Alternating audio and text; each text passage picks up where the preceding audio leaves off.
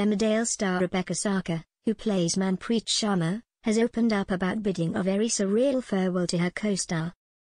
Manpreet Sharma actress Rebecca Sarker, 47, has spoken out about the much-anticipated exit of evil Meena Jutla, played by Paige Sandhu, 25. Speaking to Express.co.uk and other press, Rebecca confessed that she found saying goodbye to her on-screen sister very surreal. The actress explained, it feels very surreal, it has been so intense. We messaged each other the other day and we know it's coming soon.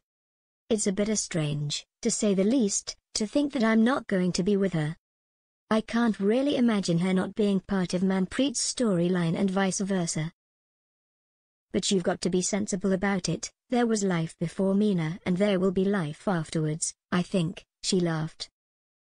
Meena arrived in the Dales back in September 2020 with intentions of reconciling with her estranged sister, Manpreet. As the story progressed, Meena has turned into one of the soap's wickedest villains after her killing sprees saw her murder four characters and injure many more.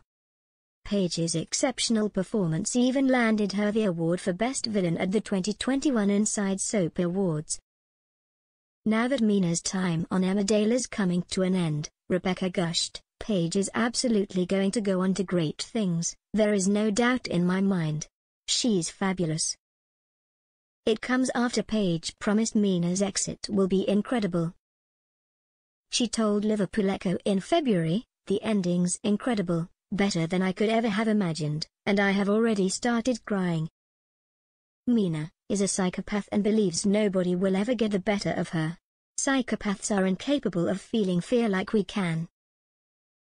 As for Manpreet's future, Rebecca remained largely tight-lipped but teased, that's the life of an actor, you come and you go, I've come and gone in various places.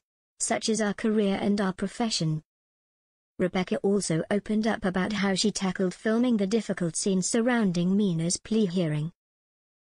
Becoming utterly overwhelmed by the pressure of testifying, Manpreet suffers a panic attack and sets off in her car into the night.